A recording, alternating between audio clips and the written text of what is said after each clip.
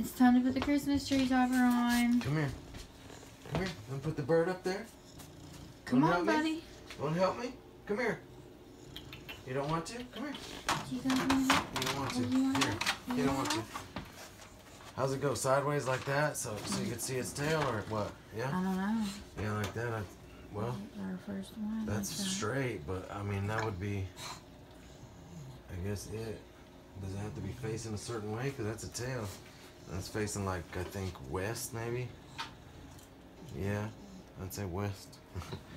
Mhm. That's uh southwest. That's backwards probably, but that's like No, make it face this way so I can see it. Oh shit. I don't want to Yeah, stick them lights in there and burn up. That thing feels like it'd catch on fire. You know what? Obviously not, baby. It's uh. I don't think a light's supposed to be in it though. You know, it's for to sit on top of a tree, not to have a light in it. You know what I mean? Yeah, I'm gonna just put it like this.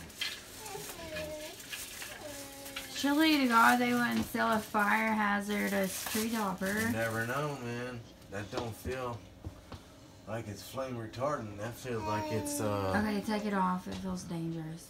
Huh? Just take it off. It feels dangerous. And plus, it makes our tree look like shit.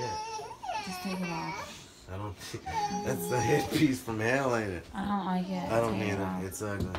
You can either make a bow or Yeah, I want to buy Buy a big red ribbon. I think a red ribbon or a black one. I think black because we got so much red.